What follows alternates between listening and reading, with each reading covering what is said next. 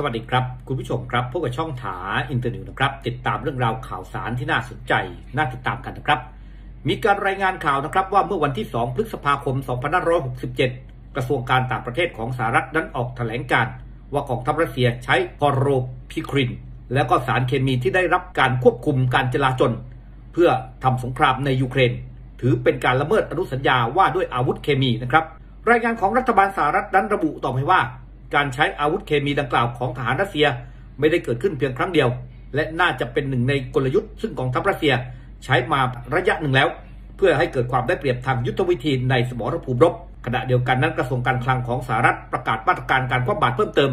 ต่อบุคคลธรรมดา และนิติบุคคลจากรัสเซีย จีนและอีกหลายประเทศ รวมถึงทูเคีย และสหรัฐอาหรับเอมิเรตหรือว่า UAE รวมมากกว่า 300 รายชื่อ จากการสนับสนุนอุตสาหกรรมทางทหารของรัฐบาลรัสเซีย เพื่อสนับสนุนปฏิบัติการทางทหารของรัสเซียในประเทศยูเครน ความเคลื่อนไหวนี้น่าสนใจทีเดียวนะครับ ในขณะที่ยูเครนนั้นกำลังเสียเปรียบในสมรภูมิรบก็ปรากฏ เรื่องของการรายงานว่ารัสเซียนั้นใช้อาวุธต้องห้าม เพื่อทำสงครามในครั้งนี้ ซึ่งอาจจะเป็นหนึ่งในกลยุทธ์ที่สหรัฐอเมริกาเพื่อ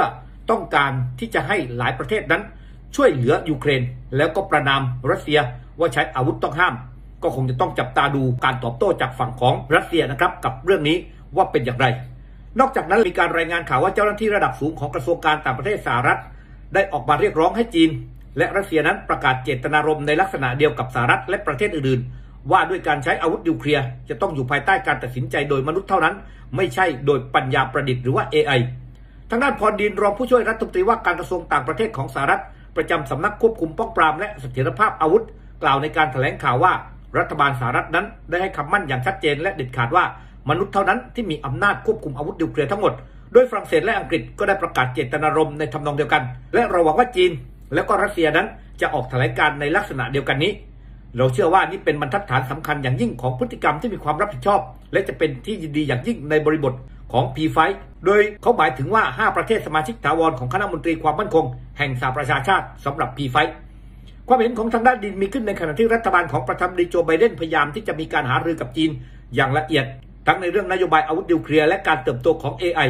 ประเด็นการแพร่กระจายเทคโนโลยี AI นั้นถูกหยิบยกขึ้นมาพูดคุย ในการเจรจาครั้งสำคัญระหว่างทางด้านแอนโทนีบริงเกนรัฐมนตรีต่างประเทศสหรัฐ กับทางด้านหวังอี้รัฐมนตรีต่างประเทศของจีนที่กรุงปักกิ่ง เมื่อวันที่ 26 มิถุนายนที่ผ่านมา ทางด้านบริงเกนนั้นบอกว่าทั้งสองฝ่ายเห็นพ้องที่จะจัดการประชุมทวิภาคีเกี่ยวกับ AI เป็นครั้งแรกในไม่กี่สัปดาห์ข้างหน้า โดยจะแลกเปลี่ยนมุมมองกันว่าจะบริหารความเสี่ยงและความปลอดภัยเกี่ยวข้องกับเทคโนโลยี AI ให้ดีที่สุดได้อย่างไร ในฐานะส่วนหนึ่งของการฟื้นฟูการสื่อสารทางทหาร ให้กลับคืนสู่ภาวะปกติ เจ้าหน้าที่สหรัฐและจีนได้กลับมาหารือเรื่องอาวุธนิวเคร์อีกครั้ง ในเดือนมกราคมที่ผ่านมา อย่างไรก็ดีคาดหวังว่าจะมีการเจรจาควบคุมอาวุธอย่างเป็นทางการในเร็วๆนี้ นี่กลายเป็นเรื่องที่น่าสนใจน่าติดตามอีกประเด็นหนึ่งนะครับที่มีความเคลื่อนไหวจากสหรัฐอเมริกา ซึ่งช่อง THA Internews นั้นก็เกาะติดนำมาฝากคุณผู้ชมกันหากว่าคุณผู้ชมชอบเรื่องราวข่าวสารจากต่างประเทศแบบนี้ ก็ฝากคุณผู้ชมกด subscribe กดติดตามช่อง THA Internews ด้วยครับ